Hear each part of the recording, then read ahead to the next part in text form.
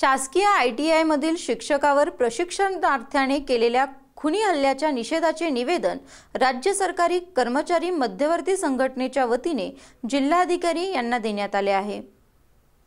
शासकीय औद्योगिक प्रशिक्षण संस्था येथे तीन जानेवारी रोजी मेकॅनिकल विभागात शासकीय कर्तव्य बजावत असताना दिलीप कुमार भोरे शिल्प निवे निदेशक मोटार मेकॅनिक यांच्यावर धारदार कोयत्याने हल्ला करणाऱ्या प्रशिक्षणार्थी आशपाक मुलांनी हा फरार असून त्याला अटक करून त्याच्यावर कडक कारवाई करावी या मागणीचे निवेदन संघटनेच्या वतीने देण्यात आले.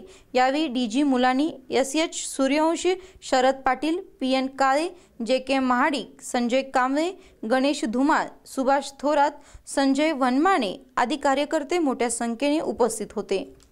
नुकत्याच एका प्रशिक्षणार्थीनं शिक्षकावर प्राणघातक हल्ला केला.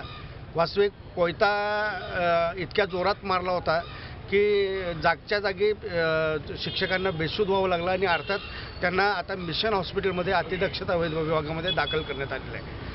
अशा अनेक घटना शासकीय कार्यालयांमध्ये घडत आहेत त्यामध्ये महसूल कर्मचारी असतील भूमी अभिलेखचे कर्मचारी असतील किंवा ज्यांचा जनतेशी संपर्क येतो अशा कर्मचाऱ्यांवर नेहमी पा प्राणघातक हल्ले होताना दिसत आहेत तर आम्ही सातत्यानं राज्य सरकारी कर्मचारी मध्यवर्ती संघटनेच्या माध्यमातून सरकारकडे ही मागणी करतो आहे की आमच्या जिथं जिथं प पब्लिक कॉन्टॅक्ट आहे अशा कर्मचाऱ्यांना अधिकाऱ्यांना हे तुम्ही संरक्षण दिलं पाहिजे आणि जोपर्यंत हे हो- होणार नाही अशा प्रकारचे हल्ले होत राहतील.